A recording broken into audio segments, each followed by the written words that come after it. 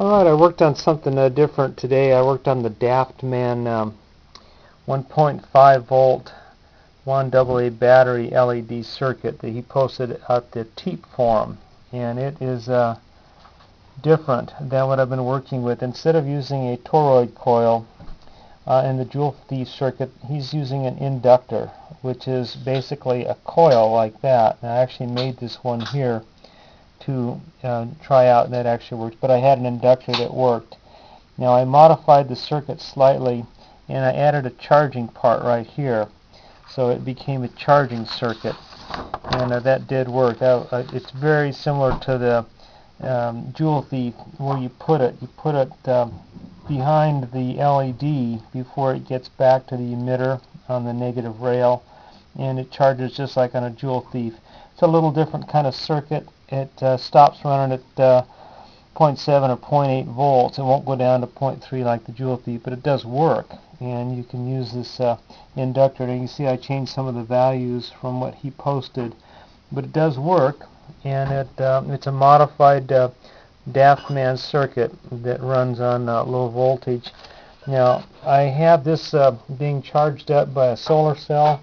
It's a 3.5 volt 70 milliamp solar cell that's just hooked up to that light right there. Now, of course, the sun would do the same thing.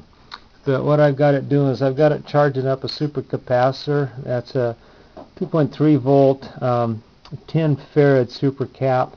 There's the circuit. There's the inductor right there.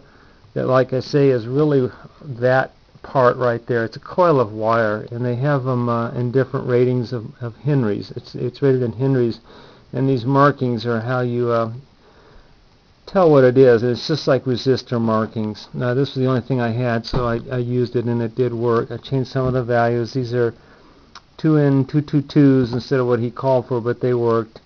And uh, I'm going to use a capacitor here to show the charging on that thing.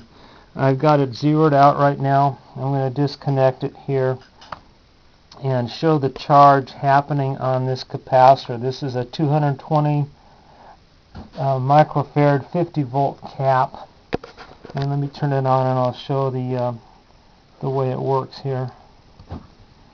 Okay there goes the LED and there goes the charging on the capacitor. This is the back end that is um, charging up on the back part of the circuit and you can see it charges right on up just like a normal Bedini solid state charger.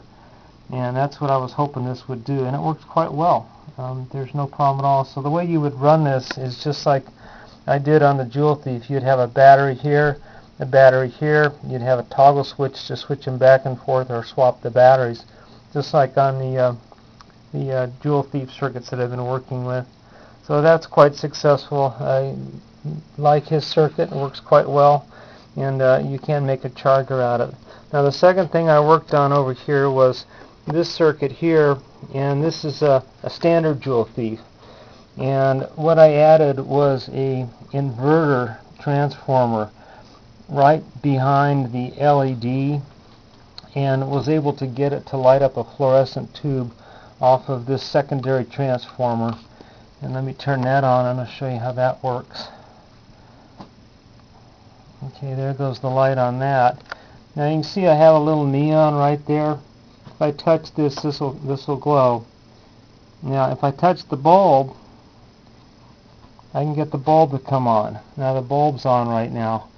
And uh, this here again, I can put the, the charge battery in the back end of this and get this to work just like a joule thief now. So it, it stays lit. But it stays lit fairly dim. You'd have to use a, a smaller bulb perhaps on this circuit here. And uh, it, it runs at uh, 2 to 3 volts is what this one runs for. But I ran this all night long, and it ran all night long quite nicely. Um, not a problem. So that's the latest. That's what I've been working with today. Two different circuits. And uh, it was uh, very successful.